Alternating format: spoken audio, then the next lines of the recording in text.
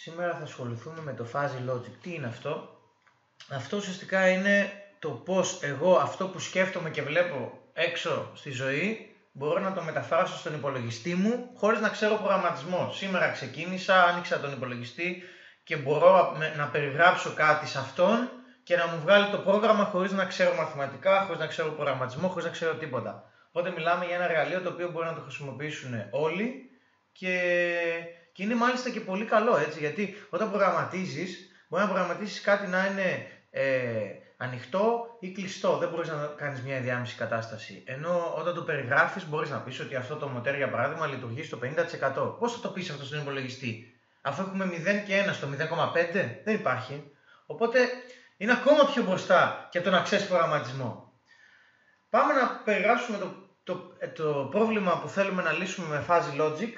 Ε, με ένα παράδειγμα το οποίο έχω κάποια προϊόντα μέσα στο ψυγείο και θέλω να τα κρατήσω σε μια ε, σταθερή θερμοκρασία. Π.χ. μείον 4, δεν έχει σημασία, θα δούμε πώς θα το κάνουμε αυτό.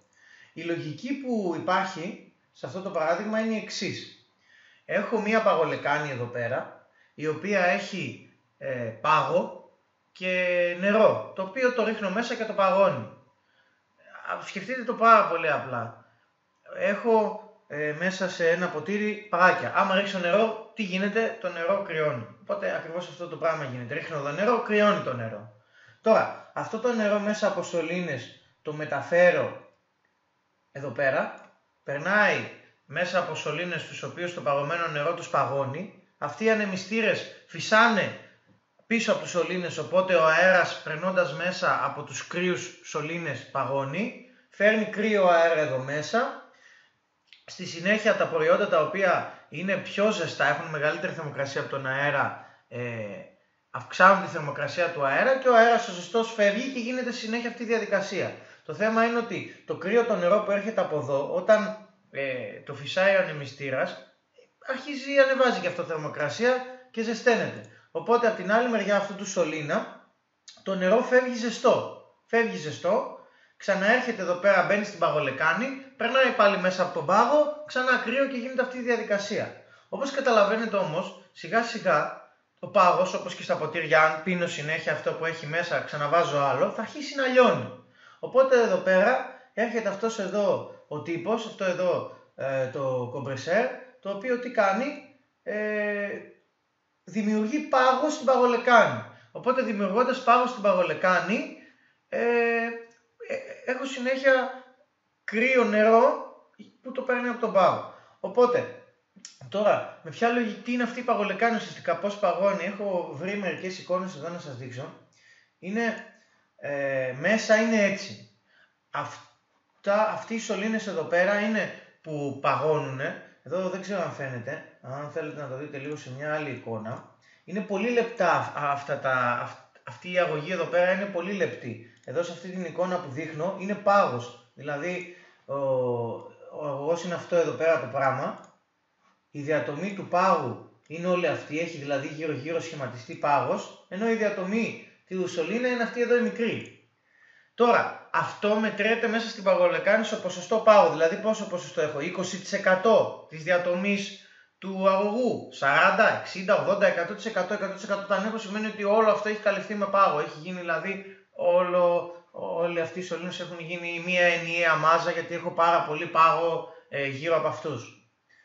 Ε, υπό κανονικές συνθήκες είναι κάπως έτσι, δηλαδή έχω το νερό και πάγο, οπότε περνάει το νερό, κρυώνει, όπως και στο ποτήρι τα παγάκια όταν ρίχνουν νερό απλά κρυώνει και αυτές οι, τα κύματα αυτά που βλέπουμε οι, βλέπουμε ότι το νερό δεν είναι ήρεμο, είναι γιατί κάτω βάζουν να φυσάει αέρας, γενικά να φυσάει αέρας μέσα για να κινείται το νερό, ώστε να μην παγώνει. Γιατί αν το νερό το ρίχναμε στον πάγο και δεν το χρησιμοποιούσαμε, δεν υπήρχε δηλαδή συνεχή ζωή ε, και το αφήναμε εκεί, σιγά σιγά το νερό και αυτό θα πάγωνε και θα γινόταν και αυτό πάγος. Οπότε μετά όταν ήθελα εγώ να στείλω νερό, δεν θα μπορούσα.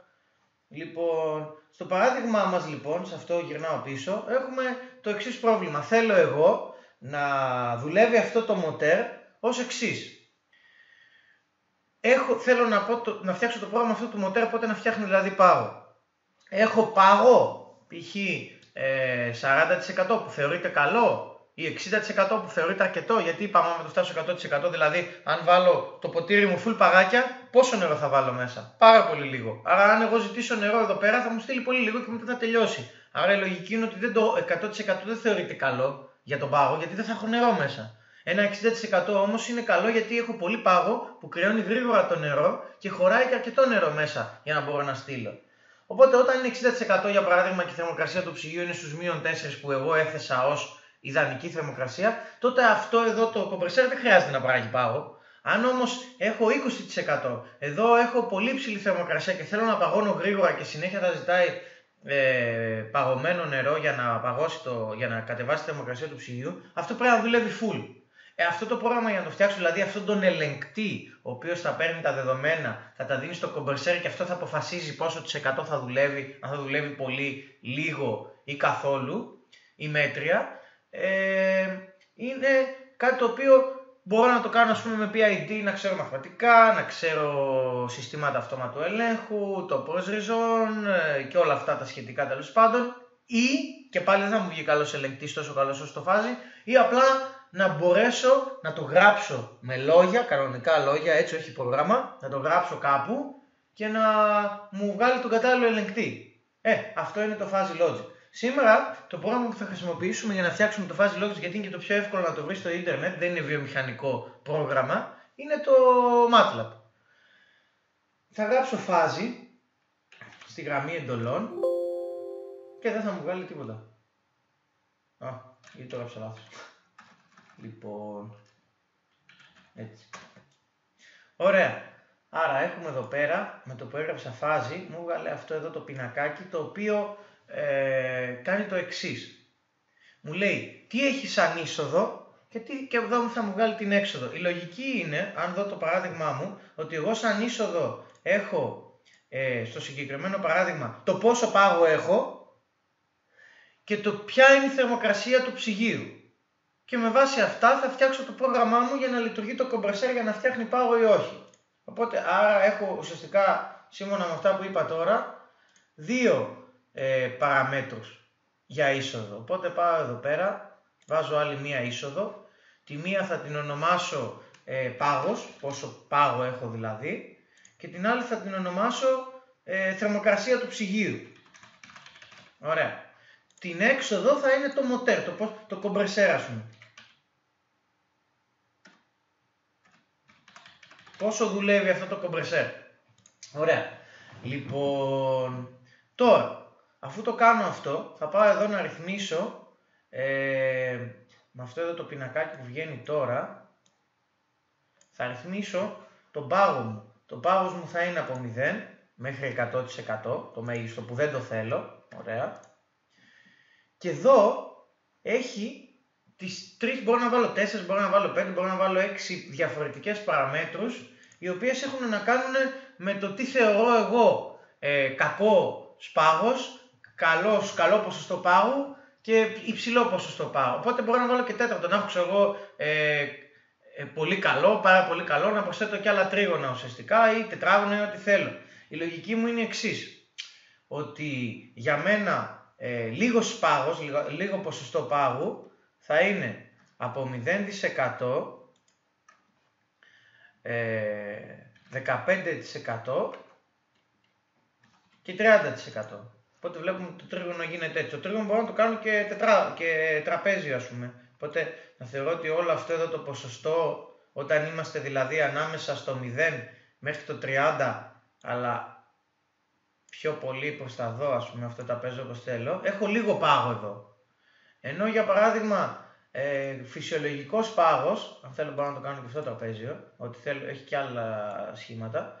Φυσιολογικός για μένα πάγος θα ήταν ας πούμε περίπου μετά το 20% για να μπορεί να παγώνει το νερό δηλαδή. Ε, μέχρι και το, αυτό δεν είναι πολύ ας πούμε, το μέτριο για μένα θα θεωρώ ήταν ε, το 40% οπότε στο πάρω αυτό εδώ. Το βάλω εδώ. Ενώ πολύς πάγος για μένα θεωρείται ότι είναι στο αφήσω τρίγωνο δεν με πειράζει, ότι είναι από 40% και πάνω. Ας το κάνω στο τραπέζιο, ένα τραπέζι. Και μάλιστα μέχρι το 60% ας πούμε ότι είναι θεωρώ ότι είναι ε, καλά, αλλά από εκεί και πέρα όλο αυτό είναι πάρα πολύ. Δεν θέλω να έχω τόσο πάγο. Από εδώ και πέρα είναι επικίνδυνη η περιοχή δηλαδή. Εγώ θέλω να βρίσκομαι, ας πούμε, κάπου εδώ. Το μεσαίο με καλύπτει. Αν έχω. Και το βάλουμε και λίγο παραπάνω αυτό. Αν έχω από 20% μέχρι 50% ας πούμε, είμαι καλά. Από εκεί και πετά ε, είναι επικίνδυνα. Εδώ είναι πάλι επικίνδυνα γιατί ε, δεν θα έχω πάγο, δεν θα μπορώ να παγώσω να έχω τη σωστή θερμοκρασία του ψυγείου. Έτσι. Αυτά βλέπετε, παίζω, δεν γράφω πρόγραμμα. Ό,τι κίνηση κάνω από πίσω μεταφράζεται σε μαθηματικάς, σε εξισώσεις, σε ελεγκτές, σε οτιδήποτε. Εγώ όμως δεν ξέρω προγραμματισμό, εγώ εμπειρικά. Δοκιμάζω, μπορεί να τον κάνω λάθος στον ελεγκτή. Θα πάω να δω. Το ψυγείο μου έχει τη σωστή θερμοκρασία, δεν την έχει. Έχει πιο χαμηλή θερμοκρασία. Θα παίξω με αυτά. Δηλαδή δεν σημαίνει ότι όταν φτιάχνω κάτι στη ζωή μου γενικά, στη βιομηχανία, οπουδήποτε λειτουργεί με τη μία. Προφανώς και υπάρχουν περιθώρια βελτίωσης πάντα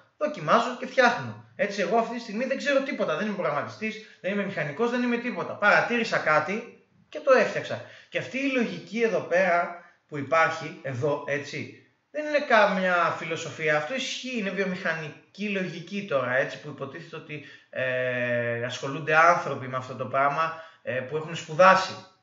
Αλλά ε, τι είναι, δεν, δεν φτιάξανε κάτι τρομερό, είδαν ότι πήγανε μια μέρα σε ένα κλαμπ και πίνανε ποτά και είδαν ότι τα ποτά επειδή δεν χωράνε όλα στο ψυγείο και είναι κόστος να έχουμε τόσο τεράστια ψυγεία να τα βάλουμε μέσα, ε, σκέφτηκαν ότι ε, θα έχω ζεστό το ποτό μου και θα ρίχνω μέσα τα παγάκια και θα παγώνει επί τόπου όταν, το, όταν θέλω να το προσφέρω στον πελάτη. Αυτή τη λογική. Οπότε λέει και αυτός, οκ, οπότε και εγώ θα έχω ένα, μία δεξαμενή, θα ρίχνω μέσα παγάκια, θα κρυώνει το νερό και έτσι θα, το ψυγείο μου θα έχει πάντα κρύο. Δηλαδή ε, όλα τα πράγματα στη ζωή, άμα τα αναλύσουμε, οτιδήποτε έτσι, ένα τεράστιο πρόγραμμα αναλύεται σε 0 και 1. Δηλαδή περνάει και δεν περνάει ρεύμα. Απλή λογική. Δεν μας φοβίζουν ε, τα πράγματα, δεν μας φοβίζουν ε, το artificial intelligence και όλα αυτά που ακούμε, ρομπότ αυτόνομα, περπατάνε μόνα τους, περπατάνε, ε, ξέρω εγώ, έχουν γίνει αφεντικά σε εργοστάσια, το οτιδήποτε ακούμε.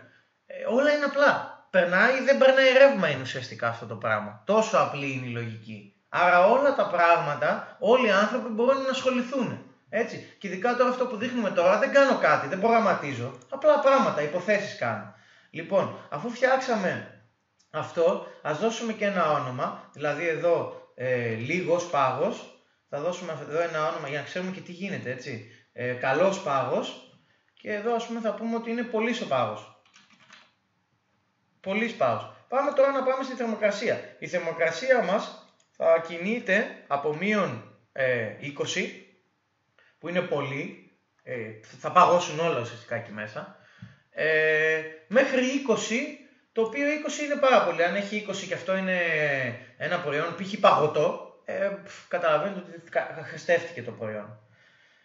Λοιπόν, εδώ έχουμε, ας δώσουμε ένα όνομα ε, που είναι από το μείον 20, ας πούμε, οπότε είναι, ε, εδώ είναι το αντίθετο, έτσι, δηλαδή πιο κρύο, καλό. Άρα εδώ έχουμε ε, κρύο.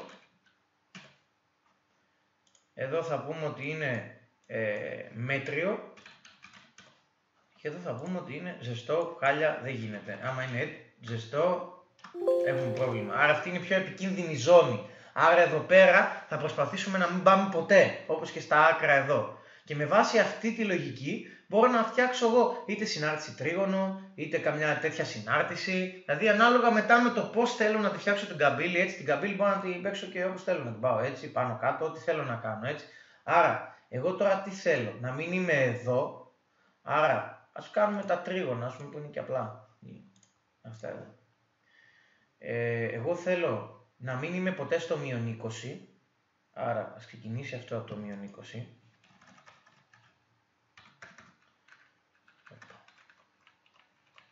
Θέλω να είμαι περίπου στο μείον 10 για μένα χαμηλή θερμοκρασία και, και ε, κρύο για μένα ουσιαστικά θεωρείται ε, το μείον 5, το μείον 6 ας πούμε.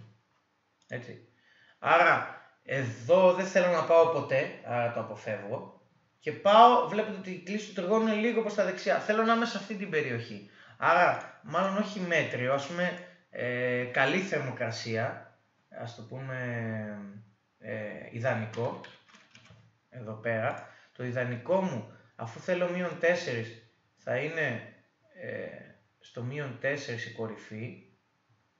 Άρα θα το, πάμε, ας το κάνουμε με νούμερα. Βλέπεις, μπορείς να το παίζεις κιόλας, δεν χρειάζεται να γράφεις καν να κουραστείς. Μπορείς να το, μπορεί να το κουνάς, αλλά ας πούμε ότι θα ξεκινάει από το μείον 10 θα είναι μια καλή θερμοκρασία. Το μείον 4 είναι το ιδανικό και άντε να πάει μέχρι 0. Από εκεί και μετά ε, δεν θέλω. Δηλαδή εδώ θέλω να κινούμε. Και μπορώ αυτό να το κάνω τραπέζιο για να μπορώ να κινούμε, η ιδανική μου θερμοκρασία να είναι αυτή, ας πούμε, εδώ, εδώ να δώσω μεγαλύτερο εμβαδό, όσο μεγαλύτερο εμβαδό δίνεις, όσο περισσότερη σημασία το δίνει ο ελεγκτής και είναι λογικό αφού πιάνει περισσότερο χώρο. Ενώ εδώ που είναι το ζεστό και το απαγορευτικό θα είναι από, αφού θέλω μείον, ας το πούμε από μείον 2, ε, και το 5 είναι πολύ έτσι, πάρα πολύ, μέχρι και το 20 που είναι το όριό μου. Οπότε εγώ δεν θέλω ποτέ να βρίσκομαι εδώ. Θα πάω μάλιστα αυτό εδώ, όσο πιο εδώ γίνεται, να, να μην το λαμβάνει υπόψη. Δεν θέλω να πάω εδώ, είναι επικίνδυνο. Μόλις, υπάρχει, μόλις πατήσω εδώ, σε αυτό εδώ το κομματάκι, είμαι σε πολύ επικίνδυνα επίπεδα γιατί το προϊόν μου απλά θα χαλάσει και καταστρέφεται. Ενώ αν παγώσει, ανάλογα και το προϊόν βέβαια, μπορεί να μην το πετάξω, να το ξεπαγώσω και όλα καλά. Γιατί συνήθως ό,τι κρατάμε στο κρέας δεν βάζουμε στο, στην κατάψυξη και κατά για πάντα. Δηλαδή πάλι εμπειρικά το σκέφτομαι. Βλέπετε, χρησιμοποιώ παραδείγματα της καθημερινής μου ζωής. Ενώ αν το κρέας το αφήσω έξω στον ήλιο, προφανώς την άλλη μέρα θα το πετάξω. Και πάμε να κάνουμε και την έξοδο, η οποία θα είναι από 0 μέχρι 100%, δηλαδή το ποσοστό που θα δουλεύει το κομπρεσέρ. Εδώ θα πούμε ότι είναι χαμηλό ποσοστό, εδώ θα πούμε ότι είναι ε, μέτριο ποσοστό και εδώ θα πούμε ότι είναι υψηλό. Ε, ωραία. Ας βάλουμε το compressor δουλεύει από 0% δηλαδή είναι σταματημένο μέχρι ε, 15 ας πούμε, είναι λίγο και μέχρι 35% α, 40 δεν έχει πολύ σημασία ούτως ή άλλως. Ενώ ε, μέτρια δουλεύει από το 20%, 50%, 70% και υψηλά δουλεύει από το 60, 80 και 100%. Άρα εδώ, οπα, θέλει, να, είχα βάλει 800. Ωραία. Μπορώ να το κάνω, ας πούμε αυτό, εντάξει, αυτό δεν παίζει ρόλο τώρα το πώς θα δουλεύει το compressor. Το μέτρο για μένα έτσι που τα έχω κάνει είναι η ιδανική θερμοκρασία εδώ στην κορυφή, ας πούμε το 50, το χαμηλό είναι το 15 και το υψηλό είναι το 60. Ε, τώρα αυτός ο ελεκτής είναι έτοιμος. Μπορώ τώρα, αφού τον έχω φτιάξει, να πάω εδώ, καταρχάς πριν δείξω αυτό, ας, κάνουμε, ας βάλουμε κάποιους κανόνες. Δηλαδή τώρα θα το προγραμματίσουμε. Τώρα πάμε στη φάση του προγραμματισμού. Για να δούμε πόσο δύσκολος είναι ο προγραμματισμός σε κάτι τέτοιο. Δείτε πόσο απλά μπορώ να προγραμματίσω με το fuzzy logic.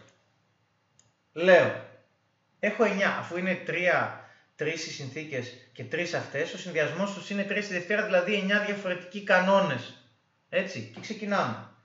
Αν ο πάγος είναι λίγος και η θερμοκρασία του ψυγείου είναι κρύο, πρέπει να φτιάξω πάγο. Έτσι.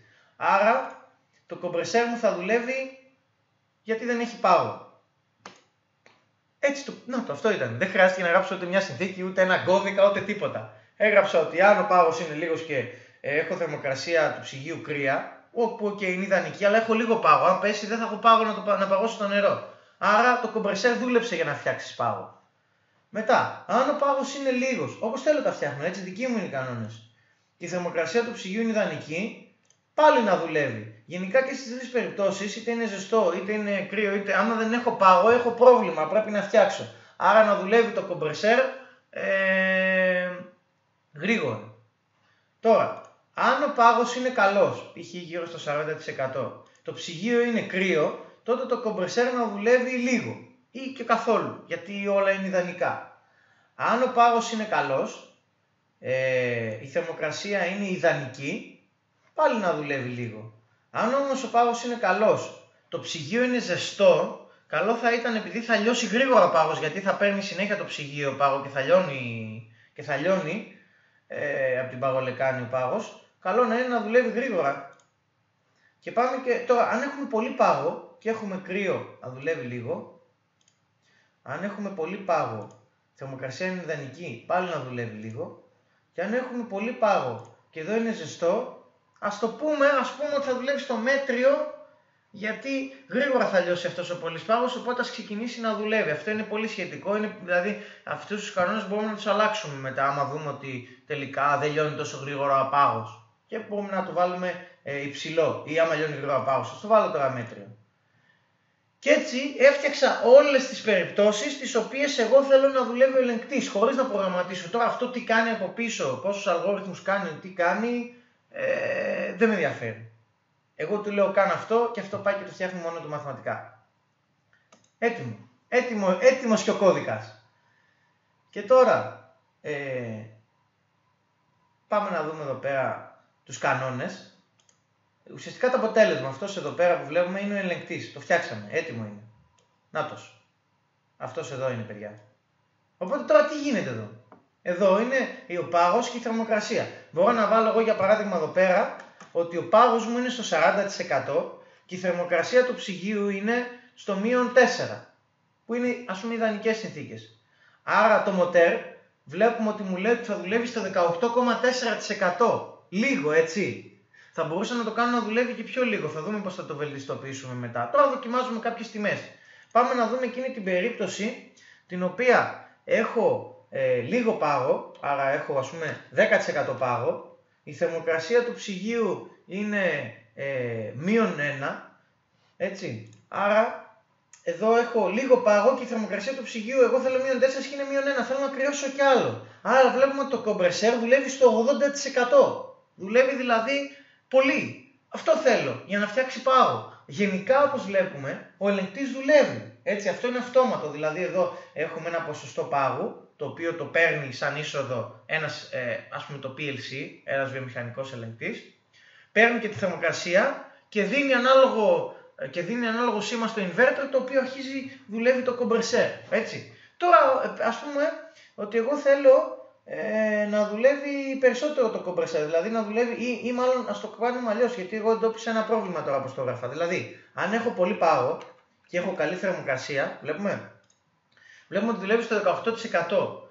Πώς θα το κάνουμε να δουλεύει λιγότερο; Γιατί τόσο πολύ ας, ας δουλεύει ας πούμε κάτω από 10%. Για να δούμε πώς θα το βελτιστοποιούσαμε αυτό. Το πρόβλημά μας είναι εδώ. Ότι το χαμηλό κυμαίνεται γύρω στο 15%. Αν αυτό όμως εγώ το κάνω π.χ. τραπέζιο και βάλω το περισσότερο εμβαδό εδώ, προς τα εδώ, Μάλλον και τραπέζι να μην το κάνω. Δεν έχει και τόση σημασία. Ας μην το κάνω τραπέζι. Στο πάω τι θέλω να είναι εδώ, αυτό στο 0. Εδώ, έτσι, έχω δώσει ότι όταν, είναι, όταν πάρει την απόφαση ο ελεγκτής να λειτουργήσει χαμηλά, θα λειτουργεί πολύ λίγο το ποσοστό. Πάμε λίγο να δούμε αυτό που έκανε ισχύει. Ε, δηλαδή, θα βάλω πάλι ότι ο πάγος μου είναι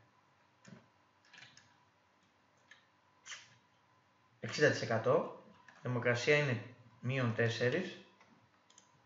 και βλέπουμε ότι μειώθηκε το ποσοστό εδώ πέρα από 18% που ήταν πήγε στο 11%. Μπορώ να πάω κι άλλο αριστερά ή να, να το κάνω μεγαλύτερο το εμβαδό του χαμηλού για να, για να πέσει το ποσοστό.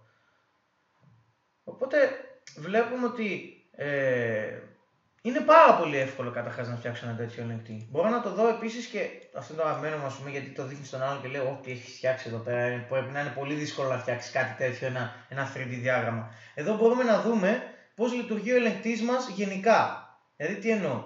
Α πούμε, πάμε σε ένα παράδειγμα. Εδώ είναι η θερμοκρασία, ο πάγος και πόσο δουλεύει το κομπρεσέρ. Α πούμε, έχω πάγο, έχω θερμοκρασία μείον 10 και ο πάγος μου είναι 80%. Άρα βλέπουμε ότι είναι στη βάση. Το κομπρεσέρ δηλαδή λειτουργεί κοντά στο 0%. Ενώ αν έχω ας πούμε για παράδειγμα θερμοκρασία 20 βαθμούς, έτσι, όσο πάγο και να έχω, σε οποιοδήποτε ποσοστό και αν είναι, ας πούμε 20% πάγο, βλέπουμε ότι το κομπρεσέρ μου, εδώ πέρα, λειτουργεί full. Λειτουργεί full γιατί, ε, γιατί έχει ε, πάρα πολύ λίγη θερμοκρασία, ε, πάρα πολύ ψηλή θερμοκρασία του ψυγείου και θα μου χαλάσει το προϊόν. Τώρα όλα αυτά τα διαγράμματα μπορώ να τα διαμορφώσω έτσι. Μπορώ να δω δηλαδή εδώ μια γενική εικόνα πώς πάει το πράγμα. Για παράδειγμα κάτι που θα μπορούσα να βελτιώσω, αν το δω, ας δούμε κάτι. Είμαστε στους 0 βαθμούς, άρα είναι πολύ υψηλή θερμοκρασία για το ψυγείο και έχουμε ό,τι και να έχουμε, ο πάγος πρέπει να είναι υψηλός. Βλέπουμε ότι όταν έχω 80% πάγο λειτουργεί μέτρια. Εντάξει, μπορεί να είναι λογικό αυτό. Ε, ναι, όχι, εντάξει. Τελικά κάτι καλό. Εδώ βέβαια είναι λίγο ψηλό. Για να δούμε. Εδώ πέρα που είναι ψηλό. Δουλεύει το κομπρεξέρ στο 50% όταν σε όλη αυτή την επιφάνεια, δηλαδή όταν έχω μείον 15 βαθμούς και έχω πάγο 80%. Που είναι κακό αυτό, έτσι. Δηλαδή έχω πάγο 80% και έχω και θερμοκρασία μία 20 και δουλεύει στο 50%. Εδώ ας πούμε θα μπορούσε να βελτιωθεί το πράγμα. Μπορεί να γίνει και αυτό. Άρα σε γενικές γραμμές έχω μια γενική εικόνα και από το view αυτό εδώ πέρα. Αυτό ήταν το επεισόδιο. Ελπίζω όλοι να καταλάβατε το, αυτό που το, το, η ιδέα ουσιαστικά του συγκεκριμένου βίντεο είναι ναι με να γνωρίσουμε το fuzzy logic αλλά να καταλάβουμε ότι ακόμα και κάτι τόσο πολύ σύνθετο στο να το φτιάξει κάποιος μαθηματικά και να ξέρει στήματα αυτόματο ελέγχου κλπ πλέον τα πράγματα είναι πάρα πολύ απλά. Όλα αναλύονται σε απλές καθημερινές καταστάσεις, όλα τα ρομπότ τα οποία υπάρχουν γύρω μας σήμερα και είναι σύγχρονα, όσο πιο σύγχρονο είναι ένα ρομπότ, τόσο πιο απλή λογική έχει γιατί αυτός που το έφτιαξε απλά παρατήρησε ένα ζώο στη φύση πώς κινείται και το έφτιαξε. Αυτό. Δεν κάνουν τίποτα άλλο έτσι. Οπότε έως το επόμενο επεισόδιο να είστε όλοι καλά. Ευχαριστώ.